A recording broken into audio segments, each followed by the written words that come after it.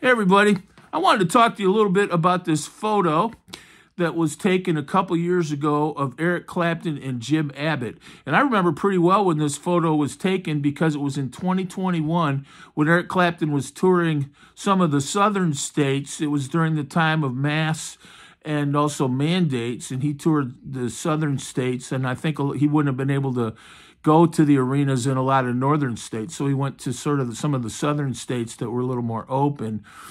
And uh, I, I remember this pretty well because I saw him in Atlanta just a few nights after this photo was taken. And in fact, I reviewed that concert, uh, which is on in my little Clapton playlist there. If you look, if you want to see my review of the concert, which was a great concert.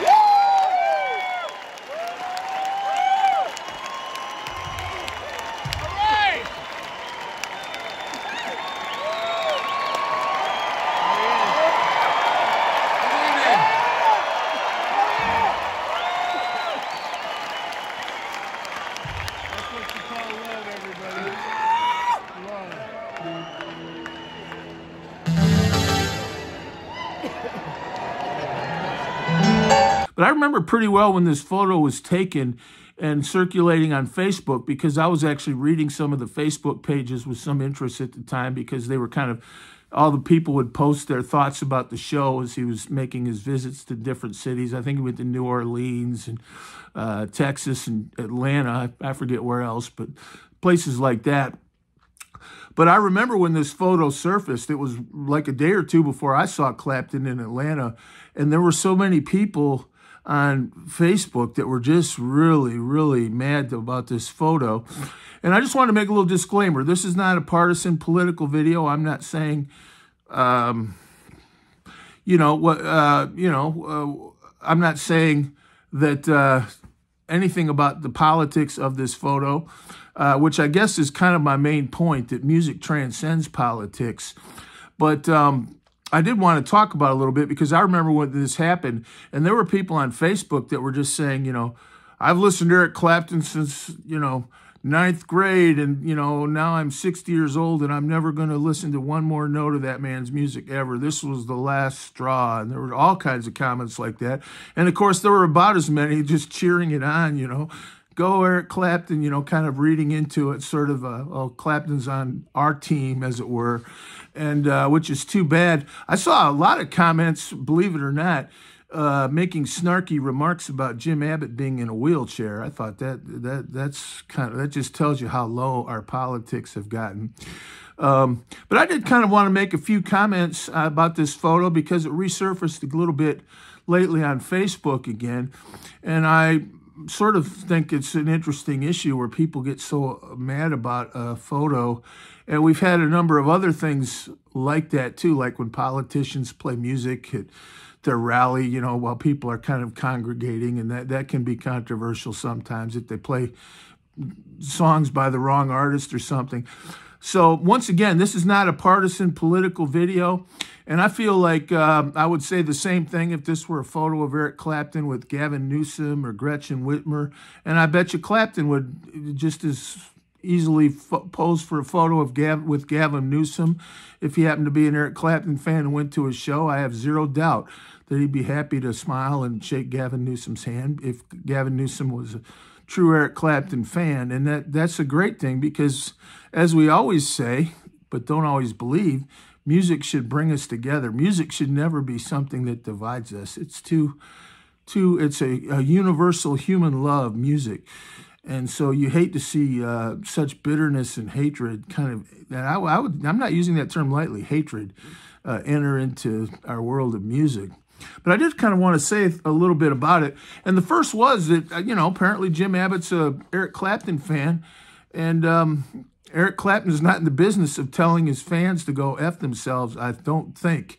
That would not be a very good business move, if nothing else. You know, so if you've got someone that likes your music, uh, that's great. And, uh, you know, and some, you know, the music's always a positive in that context. You know, uh, someone likes your music, that's great. And so Jim Abbott's Eric Clapton fan that's great. That's something that uh, can maybe bring us together. Do we even want to have things bring us together? Sometimes I'm not sure, but music should bring us together.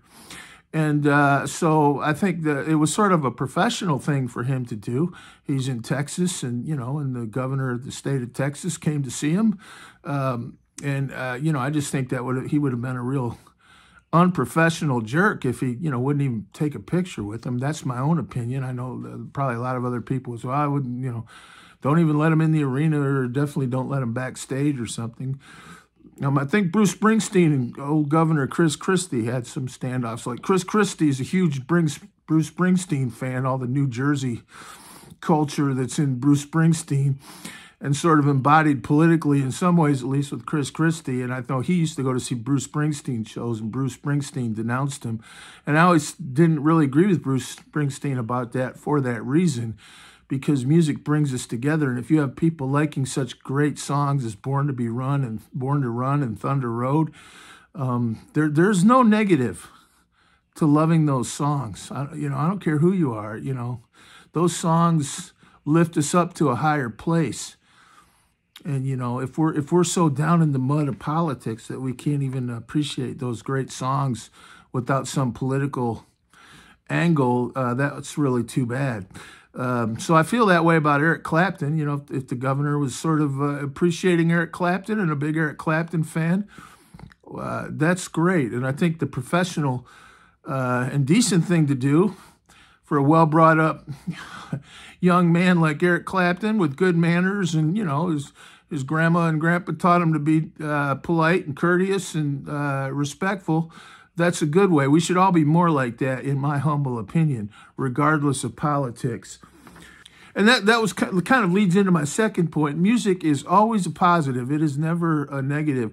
I remember, uh, and again, this I, I, I want to be careful I don't sound like I'm advocating any political position, but I do remember watching a Donald Trump rally in 2020 and uh, while people were gathering, I think Kristi Noem was there, and it was sort of a big, you know, outdoors. I think it was the Fourth of July, but uh, they were playing some songs, you know, before before the speakers took the stage. I, I don't know, I don't even remember, but it was, again, it was on Facebook, and right in the middle of 2020. Remember how mean Facebook was? You had all those Black Lives Matters protests, and everything was so divisive.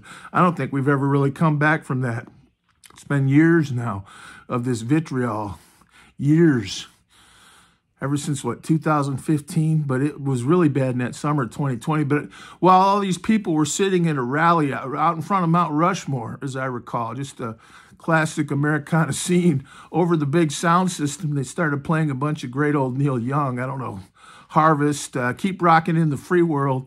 And I, again i remember on facebook people go neil young should you know, never let his song be played at a Donald Trump rally. How dare Donald Trump play Neil Young's songs? And um, I kind of thought that to myself again. Neil Young is always a positive because Neil Young's music is great, and there is never a situation when it is not a positive contribution to that situation because it's true music. It's wonderful, true, authentic music, and there's never never, uh, it's never a negative. I don't care who you're playing it for. It lifts people up to a higher place, and that's what good music does. And so I've never really agreed with this, you know, don't let so-and-so play my songs because I think it, it makes music political in a in a sort of partisan way. I, you know what? There, there are a lot of, you know, I, I, like a lot of 60s protest music, which can get really political. But I still feel in the 60s you had songs that brought people together. You know, I did that video just the other day of uh, He Ain't Heavy, He's My Brother, which was kind of late 60s, early 70s era song. And it's got those beautiful, uh, you know, it, my heart is uh, filled with the sadness that everyone can't be uh, have the joy of gladness of love for one another. We need to love one another. And I remember that in the 60s. I was a kid, but I definitely remember that. Those are wonderful things. And we don't want to we don't want to have screw you all the time in our music. So I, I never what was that song? Uh, don't worry, be happy. I remember George Bush got in trouble for playing that. It seems to be often the Republicans playing songs and the Democrats complaining about certain songs being played.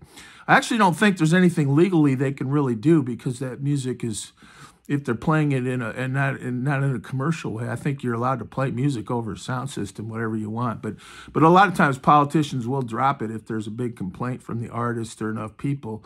But I've never really agreed with that. And again, I would I would feel the same way if uh, you know people in the other party were playing Eric Clapton or whatever. Ted Nugent, he's another one that can get really political. I don't think it's really helped him, has it? Because uh, I'm I like Ted Nugent. I think he's a great guitar player. He's a really smart man um, and very articulate man.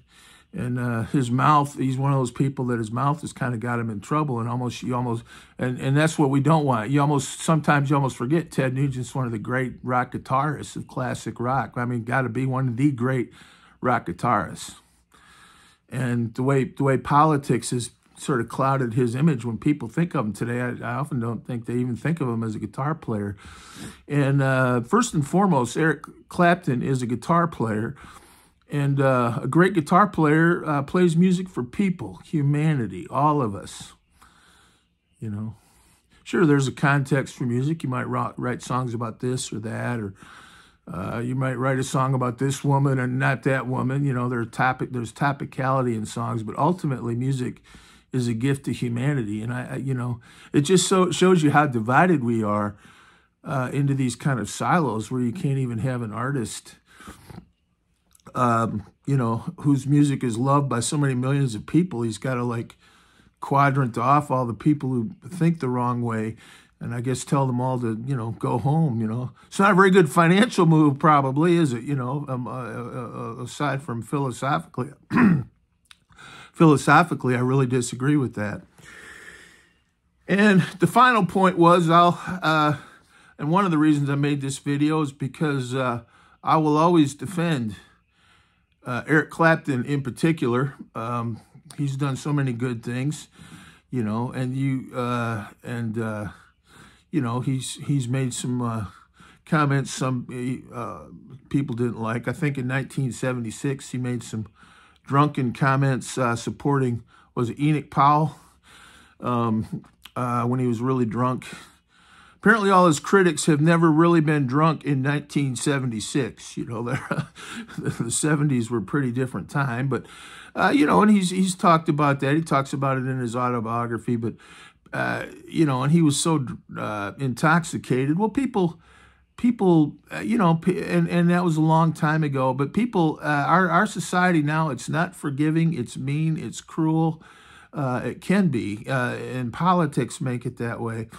And uh, I will always defend Eric Clapton eh, musically and as a as a as a person. And I, uh, I just it's just ridiculous if you look at all the things he's done in his life, all the money he's raised for charity, all the work he's done for people um, in recovery, um, you know, all the, the lifelong friends he's had. You know, you can tell a lot about a person by the friends that are around him. And, and he's, you know, he's a person that uh, is someone with lifelong friends. And I just hate to see politics uh, get into music uh, in that way. I, you know, it's always, it's, you know, you can sing, I, I've sung political songs and have my views.